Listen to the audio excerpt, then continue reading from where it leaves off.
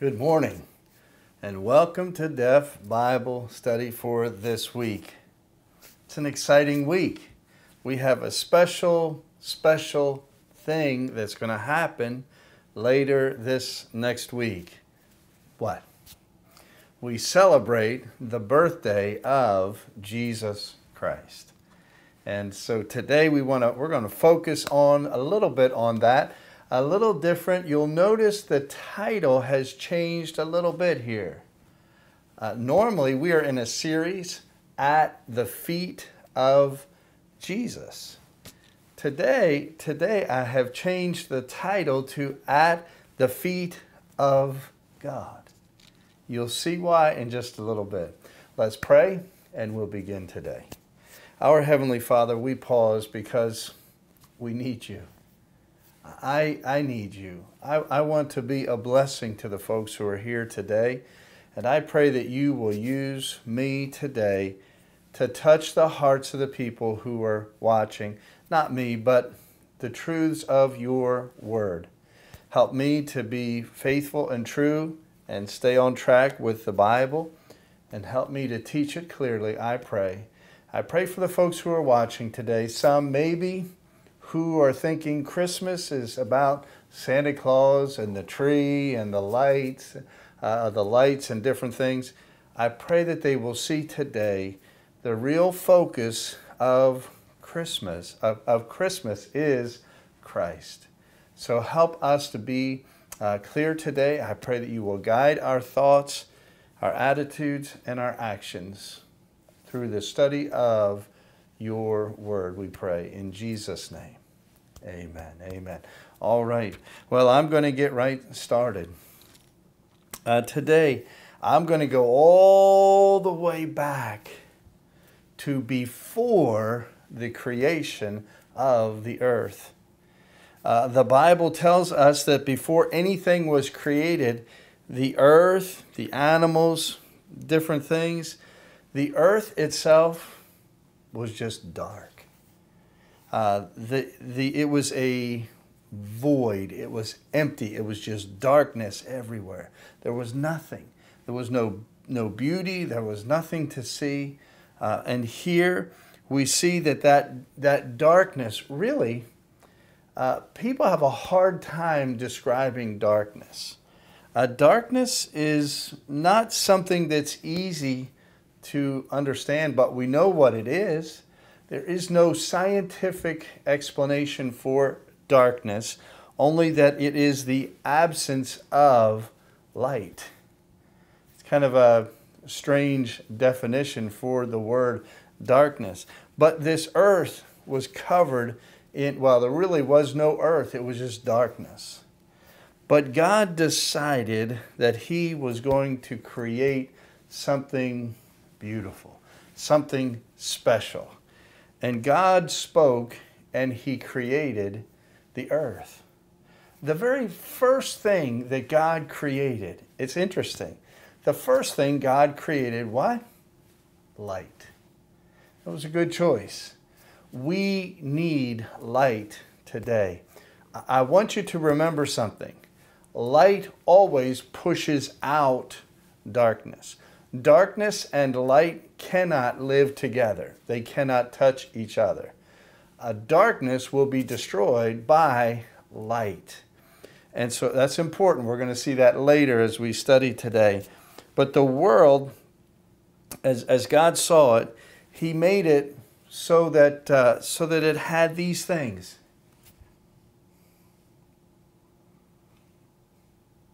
Now, we know that. We have seen these things uh, this is a beautiful picture uh, from the sky, taking a picture of the earth. But God made our earth with seas and land, dry land, and sky. And, and when God did that, He was just getting started. He also put on the earth, on the earth vegetation, uh, plants that grew, so man in the future would be able to eat those things and live. He made the vegetation on the earth. By the way, when God did that, it made the earth beautiful. colors were sprinkled all around the earth. The, the different colors of fruits and vegetables and flowers and trees and all those things, it made the earth beautiful. And God made also put on the earth nine million, nine million different kinds of animals here on the earth. And they began to walk here on the earth. But God was not finished, you know that. God then made a man. And God said, Let us make man in our image. God made man. You'll notice the words us and our. Let us and our. God the Father, the Son, and the Holy Spirit had a part in the creation of man. You and I are made in the image of God. Means what? It means that God gave us a mind, ability to think, reason, understand, search things, discover things, learn. And God gave us the opportunity to have a relationship with Him. It was amazing. God made that first man, Adam. And Adam, he walked with God. They talked together. They fellowshiped together, the two of them, God and Adam. But God noticed everything he had made was good, good, good, good, good, good, good. But when he looked at Adam, he said, It is not good for this man, Adam, to be alone. He needs a helper. And we know that's true. We men, we need helpers. And God took a rib from Adam and he made, he created Eve. The, the two of them walked with God. They fellowshiped with God. They had communication with God. Uh, they loved each other. The time there in the Garden of Eden was a wonderful, beautiful time. Uh, many, many wonderful things happened, but for, for our time, we need to condense a little bit. God made man, you and me, with the ability to taste. That's wonderful. I love food. I love to taste good food. I'm thankful for the ability to taste. I'm also thankful for a mind that's able to reason and and understand things and examine things. That's a wonderful thing. I'm thankful for the, the sensation of touch. Touch is wonderful. I love when in the morning my wife will come, I hug her. I, I love to touch and feel a hug back and hug her at night. During the day, we will hug. We love each other. That, that sense of touch is important. And God gave us hearing people, ears that hear, but God gave us eyes that can see. These eyes are amazing. Scientists who have studied the stars and all of the beautiful gems, uh, gems, precious stones in the earth, have studied, and when they study the eye, they say the eye cannot be explained. It's an amazing thing, the eye itself how it can see and focus and the pupil, you know, gets bigger and smaller. All of this happens and we don't even know about that. But our eyes, they can bring us trouble too, right?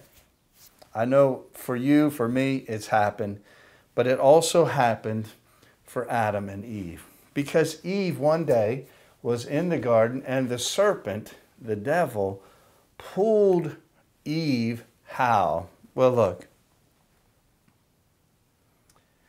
The Bible says that Eve, she the the fruit of the tree, you know, God told them, don't touch the tree of the knowledge of good and evil. Don't touch.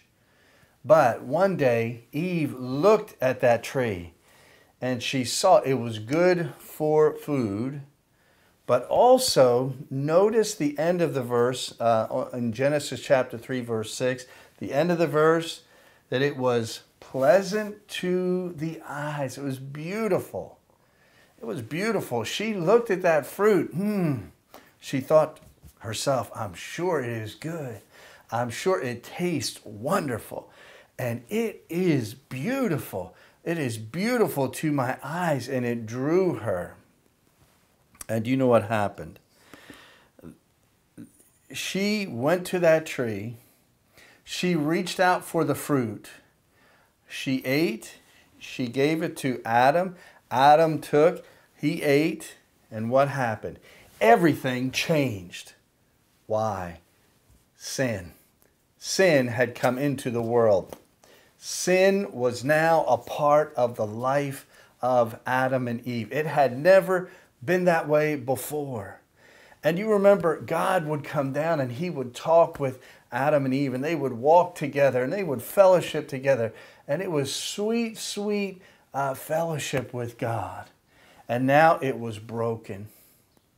And now Adam and Eve understand we are naked, they're fearful, they're hiding in the bushes. When God shows up again, they're afraid. And God spoke to the serpent. God spoke to the devil. And it's important we see what God said to the devil. I want you to read it here. It's Genesis chapter 3, verse 15. Genesis chapter 3, verse 15. Uh, read it carefully, okay? Take your time, read it. I'm going to explain it to you in just a moment.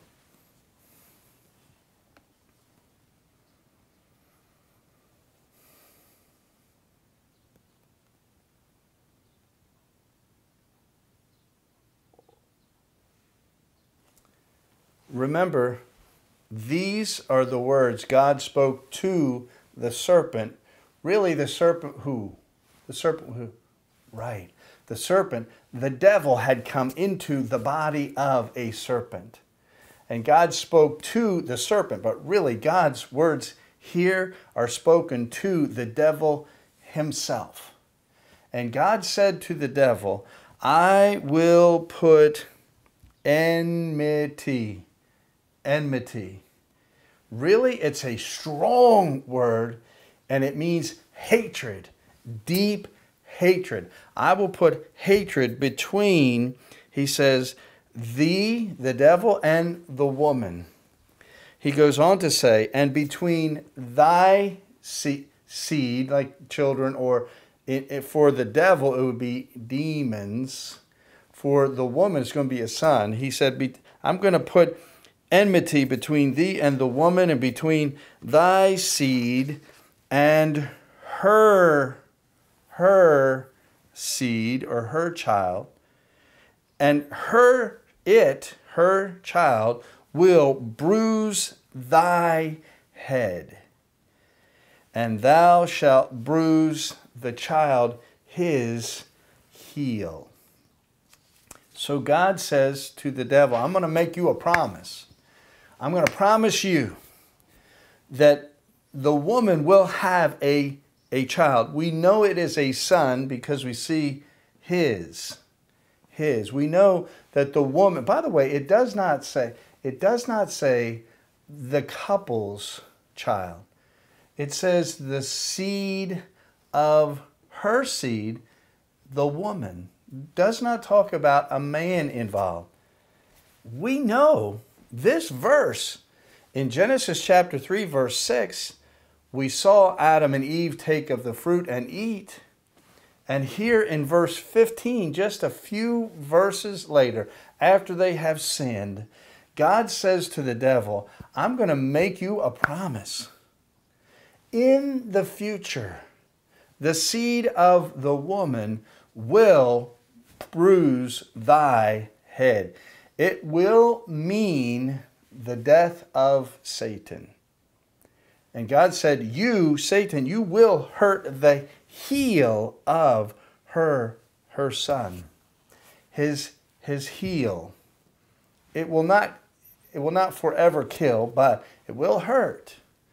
And so this is the promise that God made all the way back in Genesis chapter 3 verse 15. So, who is this Son? Who? Uh, and how could that Son forgive the sins of man? But that's exactly what this verse is explaining. God said, I will send a Redeemer.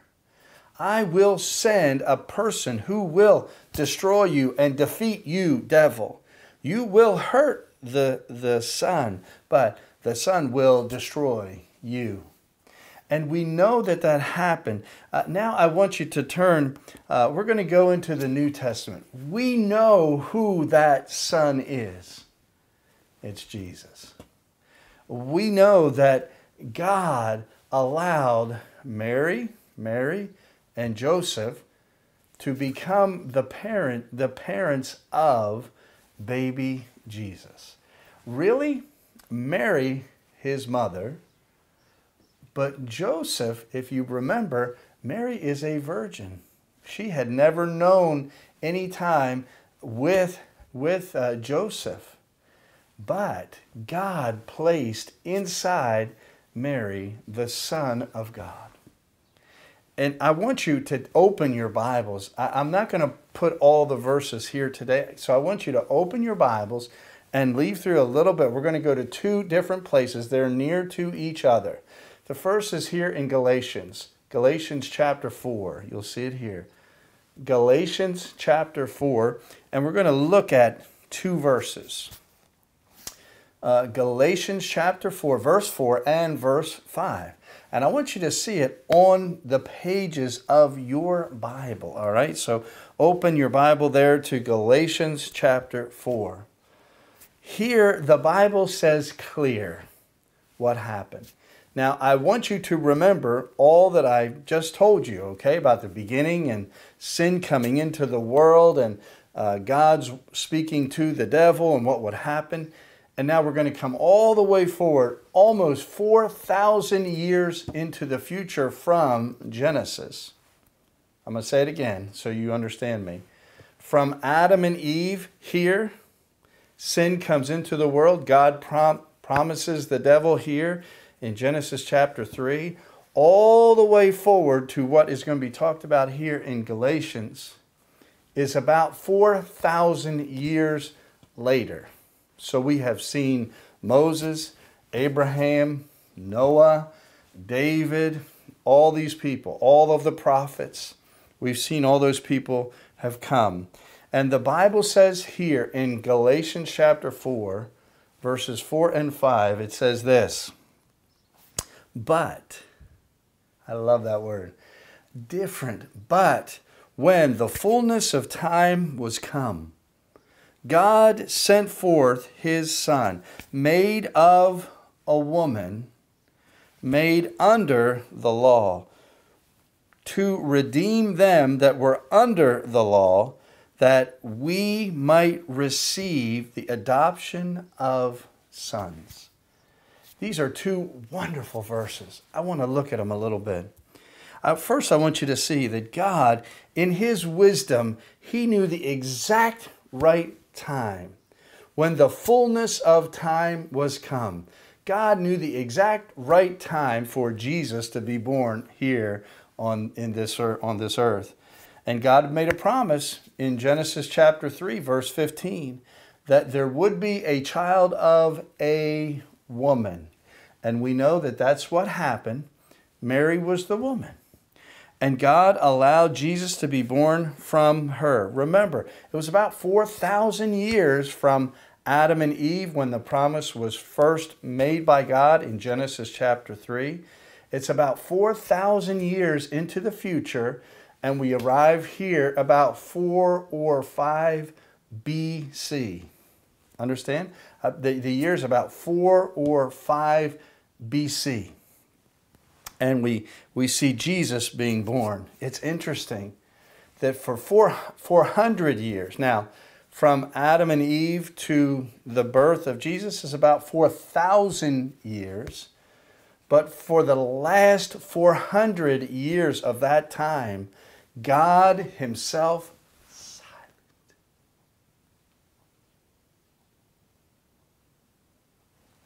Did not speak. Prophets, nothing from God. Every day the prophet would, God, silence from God. It was a sad time. We talked before about darkness. That was a dark time in the history of man. Why? Because God, He did not speak. But it says in Galatians chapter 4 that God sent forth His Son. So today, our series has been called At the Feet of Jesus. Today, I change it to At the Feet of God. Why? Because Jesus Christ, this little baby, had spent time at the feet of God. And God sent his one and only beloved Son, Jesus Christ, to come here to the earth, to be born in that manger to Mary and Joseph. God sent his Son. It was God's choice, God's plan, God's action. God sent forth his Son. Jesus came from heaven. Uh, many people say, Oh, I believe Jesus was a good man. And he was. Some say, Oh, I believe Jesus was a good teacher. Oh, oh I believe Jesus himself was a, a rabbi. All those things are true, but Jesus is much more than all those little things. Those, sim- those simple things, Jesus was much more than that. Jesus Christ came from God. And Paul in Galatians here, he tells us why he came. He says in verse 5, verse 5, it says, to redeem them that are under the law. This is amazing. Jesus Christ left heaven to come here to be born as a baby, to grow up. Why? to redeem you and me. Redeem. It means what? It means redeem. Redeem. It means to buy from the marketplace of sin. And Paul said, You and I, we have the law here. Uh, we have, God gave us His word, He gave us the law. But you and I, we cannot match the law. We break and break and break and break and break. We disobey and disobey and disobey.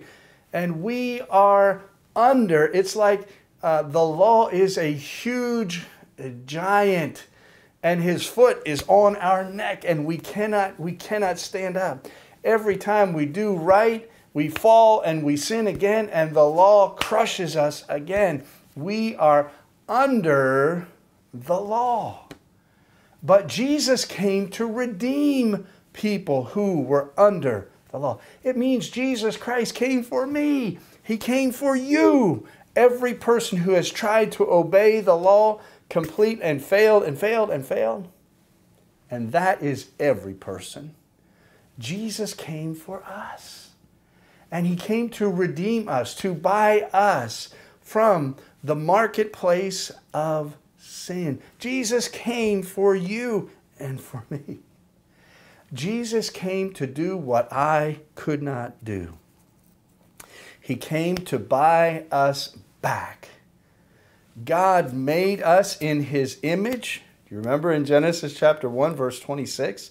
God made us in his image, but we marred his image when we sin. Sin is not a part with God. We chose sin ourselves, following the devil instead of following God. And we have been a mess ever since. And Jesus came here to buy us back for God. What an exciting thought. We need a Redeemer. Who is that Redeemer? Is that baby, Jesus Christ. Well, let me go on. I want to show I want to show you another place. Now, so from Galatians, go to Philippians. Philippians chapter 2, just a few pages toward the back of your, of your Bible. Chapter 2.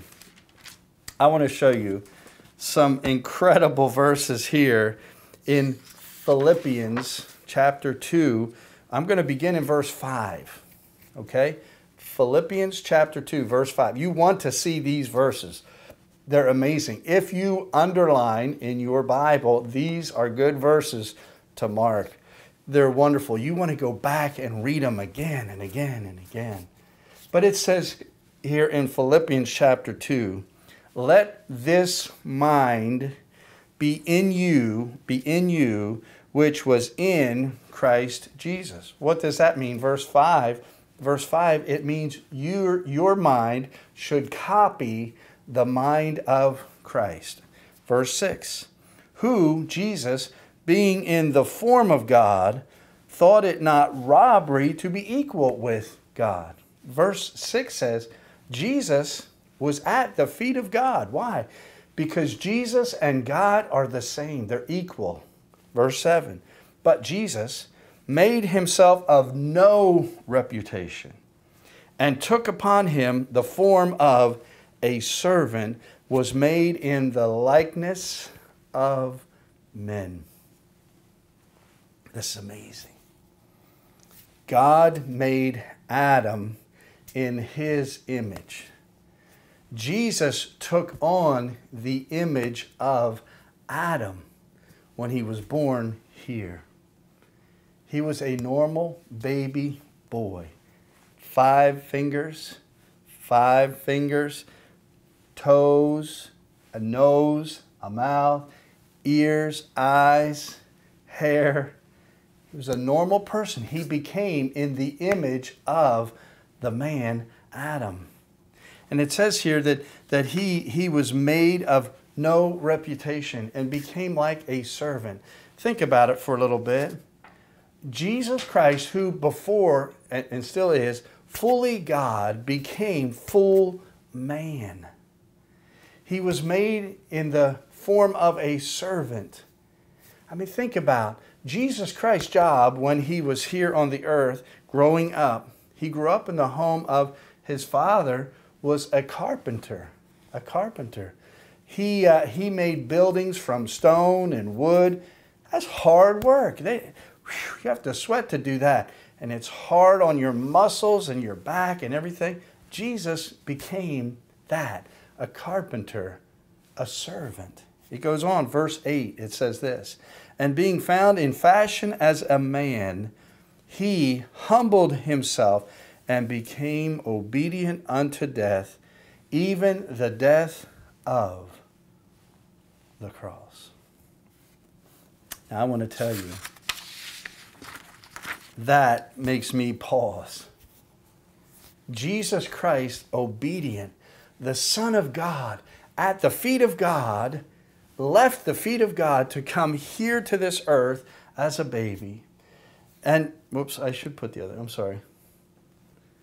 Philippians there. I'm sorry, I'm getting old, I forgot.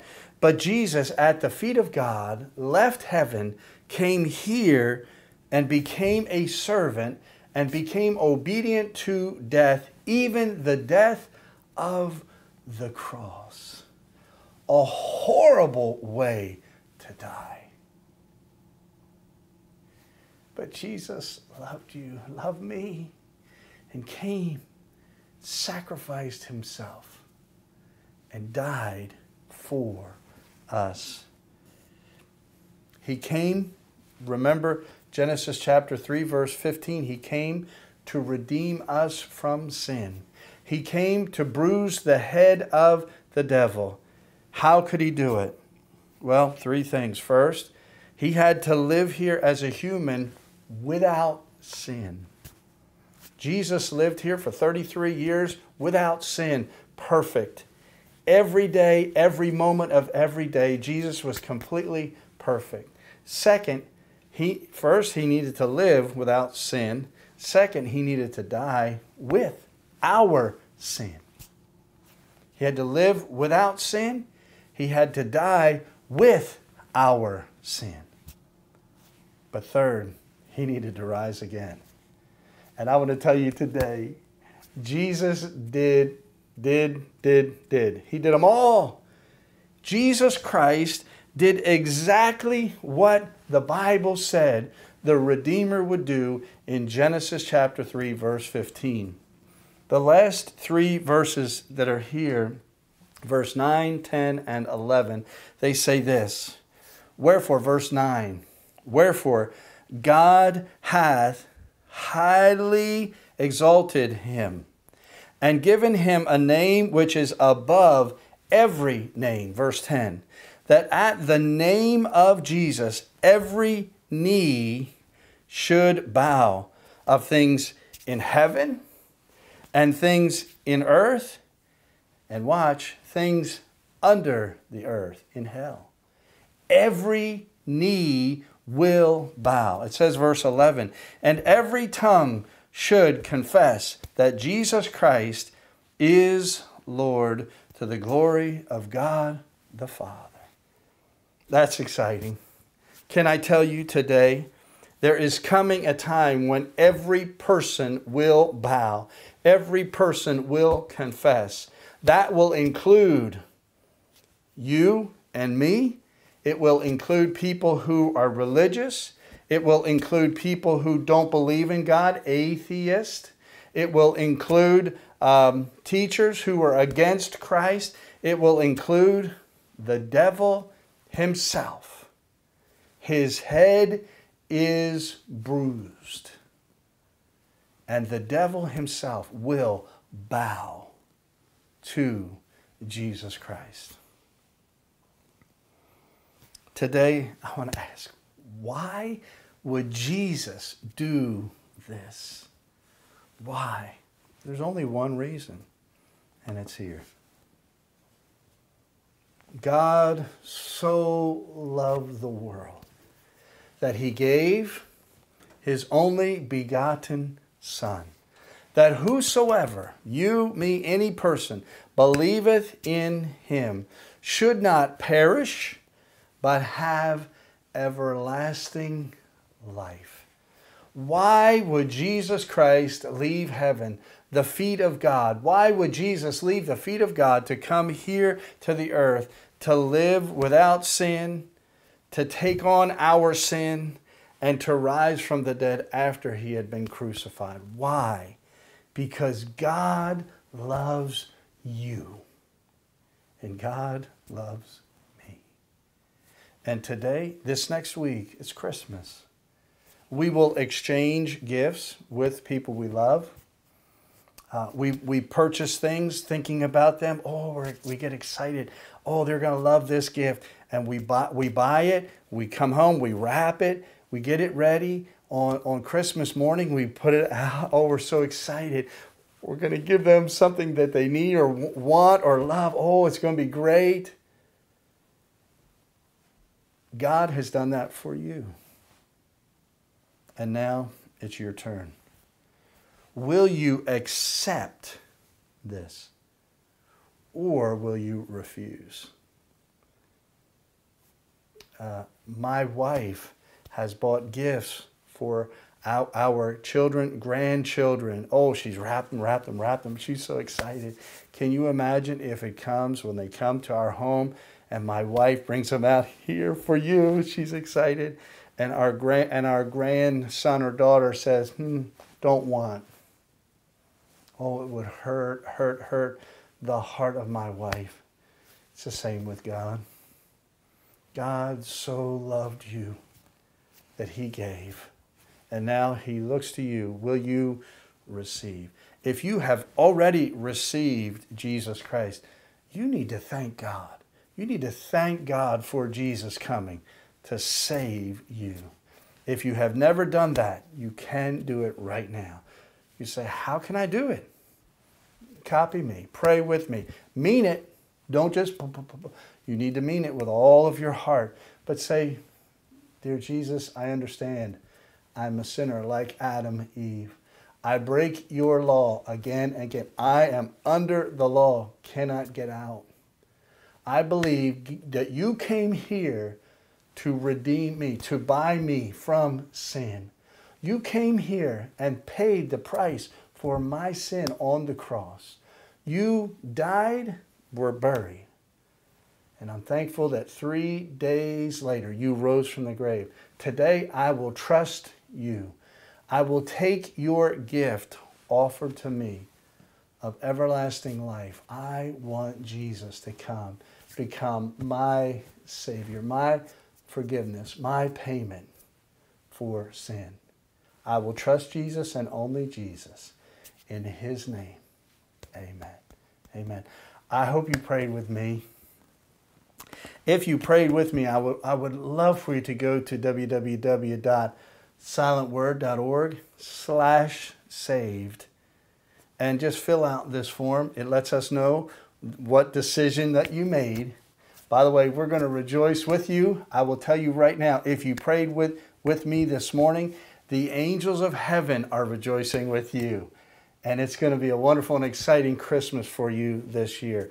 If you've already been saved and you know people who have not, make it an emphasis this year to tell someone about Jesus Christ. It's a wonderful story. Don't let them miss heaven because you were silent. Heavenly Father, thank you for the time. Thank you for these wonderful verses. Thank you, thank you, thank you for sending Jesus Christ to die in our place, to rise from the grave, and to give us the gift of everlasting life. Thank you so much. We love you. And we pray these things in Jesus' name. Amen. All right, well, next week, I promise you, I told you last week I was going to be teaching this, but I will be teaching next week, Lord willing. Next week. Thank you so much for watching. Have a wonderful Christmas. Uh, we really love you. Thank you for watching this Bible study. We'll see you next week.